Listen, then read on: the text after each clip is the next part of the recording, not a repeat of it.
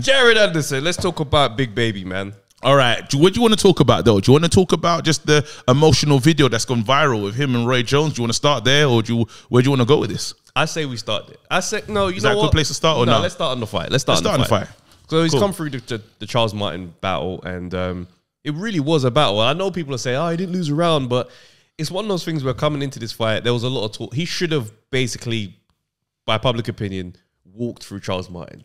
Absolutely. Anyone that's saying that he shouldn't have done that is lying. Again, you have to just be honest with yourself and say, in this moment, I'm a liar hmm. because we expected. I turned up to that fight saying, I know how this wants to go. I've I've listened to Charles Martin talk, yeah, and you know, obviously wants to fight five guys in one night. I've seen him like not really, hey, try to step up to the mountain and not do well, hmm. not not be the guy that we're expecting. So then, what I'm hoping for is not saying a cherry pick, but I'm looking for certain fights, keep blowing them out.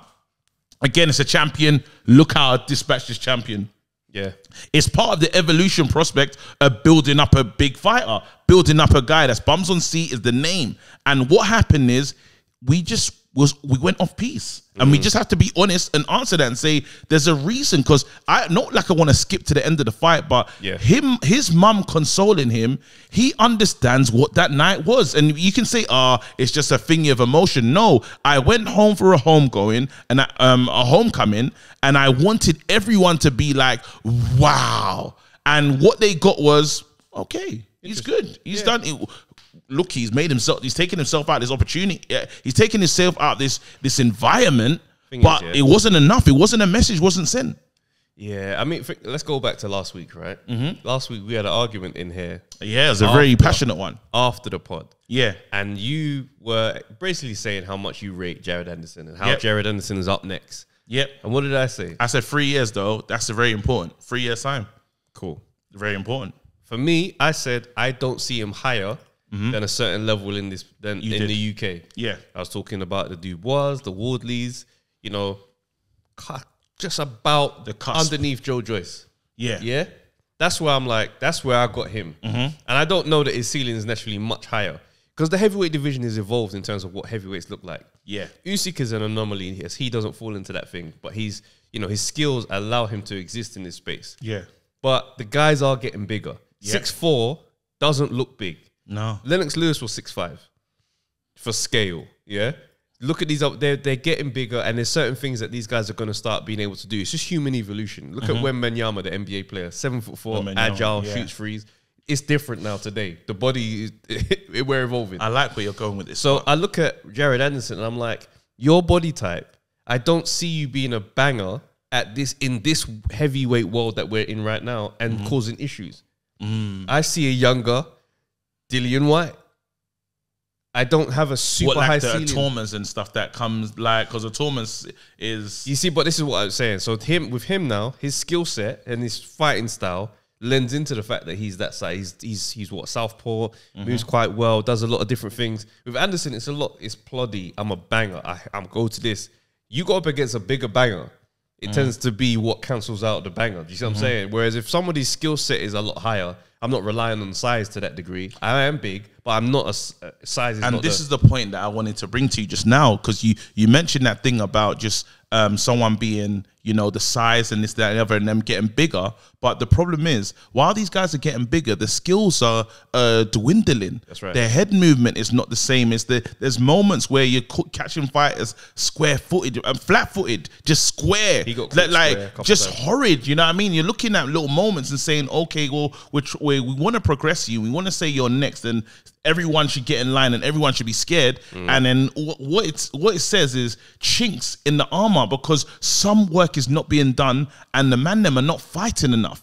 When you say like there's there's guys that I like him, so this is not to throw him out because I still believe that three years time he could be running it. I still I, I don't feel like I, but before we was talking about him being on the on the fast track. You see how AJ was fast tracked? We said that he's on the fast track pro- project not. and he's not hmm. because now it's like if I'm any of these other boxers and stuff, I'll be looking at him thinking, you know what? Actually, I'll take that fight. If I'm Daniel Dubois, I'm saying, hey, I, I know I've got these issues and setbacks and stuff, but that fight is more interesting to me than it was before. You know what I mean?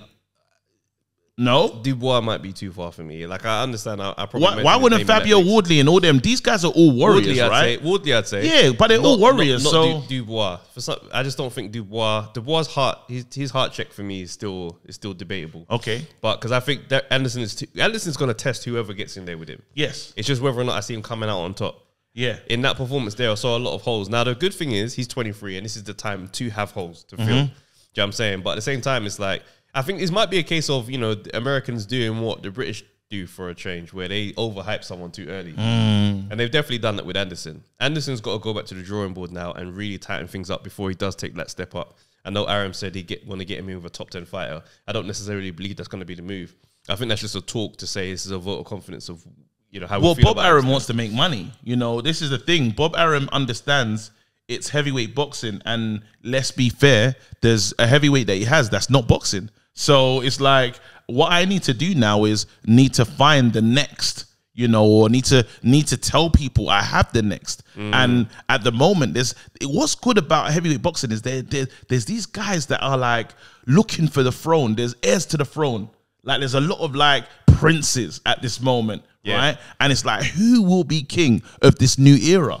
And that's the hard part because There's no there's no there's no real clear guy. You know, there's one that we can say because we put the hype behind Jared, and then when it comes to it, he's saying, "Well, you should have knocked out Charles Martin." And Mm. the funny thing is, had he got him out there in the second round, how it looked like it was gonna go, we would have said, "Hey, that's the guy." But then we saw Charles Martin He just grew into the fight. grow into this fight. We saw him uh, ask questions that he's never been asked before. Yeah. You know? Yeah. I mean, I saw some nice things. He's got a good little counter shot, but he also gets countered quite cons- consistently. You know, things with guys like him, right? And I just like, I look at him, I think to myself, I, I, I'm, I'm a bit concerned that I think because I've seen the, the Roy Jones thing mm. beforehand, I'm like, mentally, I don't, I don't know how much he's there.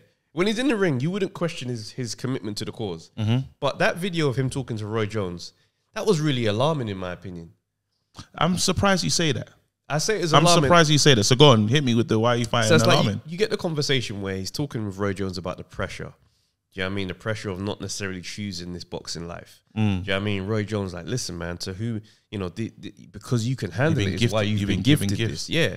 And he's like, the more you can handle, the more you've been given. It's your responsibility to, you know, take it on. And he's like, yeah, but I didn't choose this. Like, but the pressure's crazy. I'm only 23.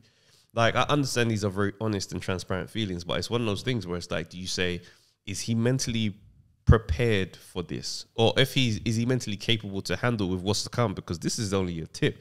If you think about the pressure that he's talking about right mm-hmm. now, let's imagine what AJ's pressure looks like mm. when you're, you know, the emergence of a great sport again. Like it's mm. that thing, and he's not necessarily got that pressure on his shoulders. He's just got potential that he w- to live up to. So it's like I look at it, and I'm like, I don't know if he can necessarily carry the mantle. But what we have to understand is we are in a brand new generation, and it's we're in a space where um, we're taught to ask ourselves how we feel mentally. So me, even as a parent, right, my daughter does the mental health checks as she's feeling. She gets to school and they say, "What what thingy are they?" And they're in these different colors. Yeah. So you're in blue, green. Yeah, there's like I think there's four colors, right, mm. of how they're feeling. So mentally, it's those mental check-in health checks that we're doing more so now than we haven't done before. That's very in our generation, we never asked ourselves, "Hey, stop for a second. especially as How are you? Especially as parents being able to look in the moments and see it, like just with my son today, right? So I've had to really look at certain things I do. So like my son, like he he panics a lot. If he makes a mistake, Yeah. I've noticed that he panics. Like he'll drop something, and my reaction sometimes is like, "Oh, come on, man!" Like he'll spill a drink or Yeah. da-da-da. He drops the he dropped the fan today, right? It fell down. It didn't hurt. I rushed to see if he was okay Yeah. and he was okay. But he was upset and emotional because he thought I was gonna be annoyed that the thing fell down. Mm. Yeah. And I was like, "Bro, this is in the long term. What this looks like is is, a, is an anxiety to make decisions or to get things wrong Uh-huh. and try new things." Yeah. So I was like, "Oh, as a parent, I've got to chill the hell out when it comes to reacting to simple things."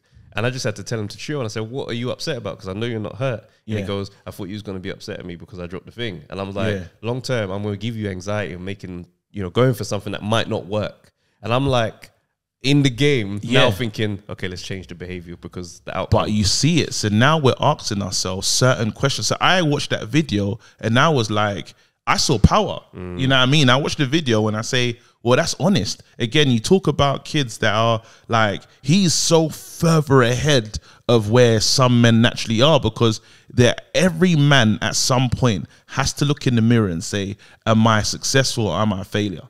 Do you see what I'm saying? Mm-hmm. And he's asking himself them questions at 23 and understanding what's coming. You know what I mean? Beautiful time to ask him, and amazing to have the right mentor to tell you. to tell you, hey, it's pressure, mm. but this is normal. That's real. You see what I'm saying? That that's good because unfortunately we've had to work out those things sometimes alone. Like, yeah. Alone, like, and no one gets to tell you, hey, these feelings that you're feeling, da da da da da, is this. It makes sense. You know what I mean? So when I looked at, I watched the video and I was like, it feels good because this is mentorship. This is what it's about. This is a lot because men don't talk, especially, especially, and I don't want to make it racy, but in our community, mm. we solo. So lone wolf, we think of all these things are propped up to be great. Especially telling someone that you're scared of the pressure. Yeah. That's something that Yeah, it's Yeah. not. But then it's like this is why you fight, though. Because the flip side is, I get that, but this is why you do it. Mm. This is what this leads to. That stuff there is empowering. is empowering. You know what I mean? So it's like I don't with the and don't get twisted because I think sometimes we can go a bit too far with mental Yeah, health. that's the thing. I think we've got we've we've mollycoddled us a bit too much as a community. Yeah. But little moments like that is done in the right way because he smiled, he laughed, and he's like, okay, it's the refocusing, and that's oh, that is good. That's what we're talking about. I, I, I definitely hope you're right. I definitely hope you're right. It's just one of those things where for me, I was a bit concerned because I looked at I thought to myself, are you because this life is hard. The fight Yeah. a fighter's lifestyle is very difficult. It is this is the beginning. This is actually the easy part. Mm. So now it's like it's one of the ones where I do hope that this moment allowed you to feel, you know, empowered to go forward and continue to take this journey. Or it's a a, a flag to say, I'm letting you know now. Yeah. I don't want to do this. But you're, you know, I get, but as your brethren, I get why you look at it this way. Okay. Because you're naturally, you're like, and this is why I like how when we talk and stuff, you're naturally apex.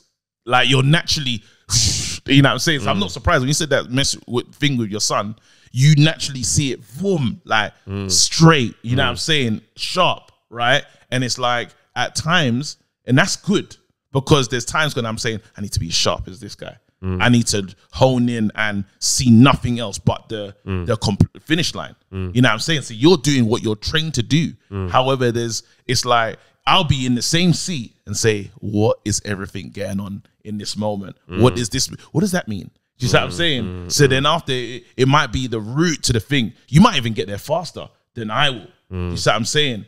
And this is it's it, the thing is taking the lessons from. So why you be straight apex and get to the top and win the whole take the whole division, which is life and stuff. It's it's saying yourself, did I miss things along the way? Okay. Was I on point? You see what I'm saying? Mm-hmm. Because all good at the journey, but how? Yeah, though? yeah, yeah. You see what I'm saying? And it's I think for for everyone is to learn how to do where you're because I think that's my weakness. I get distracted. You see Yeah, what I'm yeah, saying? yeah. And then after you could say, Rob, yours could be I'm I'm missing I it. won't. Yeah, I won't see the little things along the way. Yeah, Mad. that's very true. Yeah, Mad. You know what I'm saying? It's, it's crazy though, but this is mm. again, I think I think as humans and in terms of our mind and emotionally, we are evolving though. And I like as a fighter, I like this, and we're gonna keep seeing more of this because now fighters are finally saying I can still be, I'm still alpha with these thoughts. Mm. This is what's happening. I'm still at alpha. I think people just got it mixed or like misunderstood, but vulnerability is powerful, fam. Yeah, no, I agree, man. I'm curious to see how US media is dealing with or responding to it because British media has a way of being incredibly strong handed with certain people sometimes. Yeah. Do you know what I mean? Like, you know, we go back to AJ Usyk. I wasn't supposed to be a fighter. I only Yeah. started boxing because I was in jail. I'm heavy. People Yeah. Mm-hmm. really went crazy about that. When reality, that was him saying, like, tear down all of the things you think I think or whatever. I'm telling you, I wasn't even supposed to be here, yo. Mm-hmm. Do you know what I mean? I made it here like on a women. You lot are being, you're treating me like I'm one of these, man. These man been boxing since. Do you see what I'm saying? That. Yeah. that was a cry for Cry for humanity in that moment of defeat. But then look at where it has to happen. You have to make have that cry in a safe space. And he had Roy Jones, and then AJ done his one in front of after Usyk. in, in front of people that kind of don't like it at sometimes as well, or That's waiting real. for the downfall. Because in in our thing, we love the underdog, but when the man gets too high, we just Oh. we love that. It's just the UK way in it. It's not no disrespect, but it's just It what is we do. what it we, is. we we we like the underdog more than we like the champ. Yeah, You know I what I mean? Unfortunately, it just is. I think it's a cultural thing. But then I will say, um, Giannis had a moment like this where Yeah. he- had. Everyone keeps having. it. I said, Mem, it's best to have it True. at a young. It's best the top guys, the top guys that are going for things. They have these moments, to- and it's it's this era. yeah. That's a good shout, man. Come on.